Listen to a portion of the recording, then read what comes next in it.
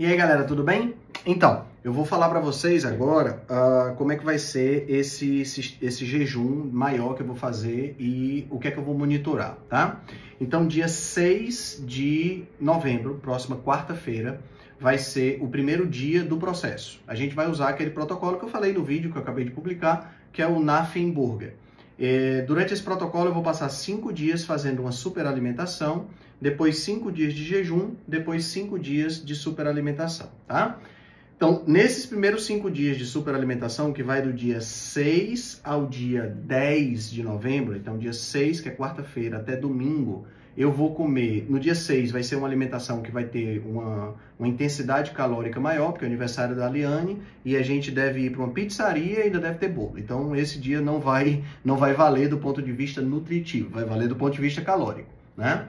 Então, nesses dois, nesses cinco dias, de 6 a 10, eu vou fazer essa superalimentação. É claro que do dia 7 até o dia 10, eu vou priorizar as carnes, né? Comer bastante carne, bastante gordura.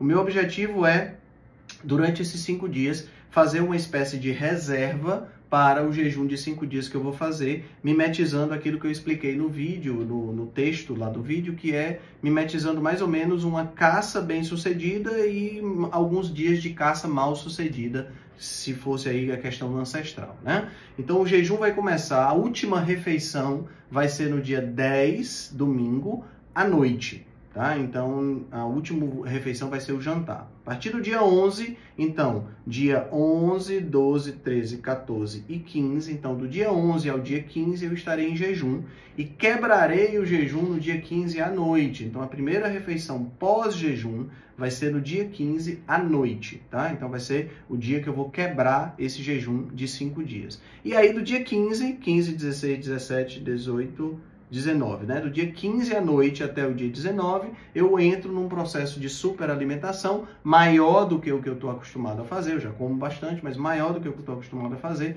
para trabalhar essa questão do Nothing Burger, né? Então, esse vai ser o protocolo. O que, é que eu vou fazer? Eu vou também medir, eu vou usar a, a, as medições de cetona e de glicose. Então, eu vou usar durante esses 15 dias eu vou utilizar o monitor contínuo de glicose e o monitor contínuo de cetonas. Tá? Eu tirei hoje o monitor contínuo de, de cetonas, que terminou o primeiro período, vou colocar o segundo e vou monitorar durante esses próximos 15 dias como é que vão ficar as cetonas e vou comprar também um monitor contínuo de glicose para monitorar durante esses 15 dias como é que as coisas vão proceder. Vou fazer medições periódicas na ponta do dedo também, não vou, não vou fazer de forma assim obrigatória, mas vou fazer medições periódicas e vou medir também através de uma balança de bioimpedância de, de, de excelente precisão que eu tenho, eu vou medir também é, peso, taxa de gordura, taxa de músculo, é, quantidade de água, peso ósseo, essas coisas que a bioimpedância fornece, eu vou medir também. Eu vou começar exatamente na quarta-feira, dia 6, porque na terça eu vou pegar a balança que está no escritório, ele vai ficar aqui em casa, porque eu já não atenderei mais presencial até o nascimento do Luiz Henrique, né?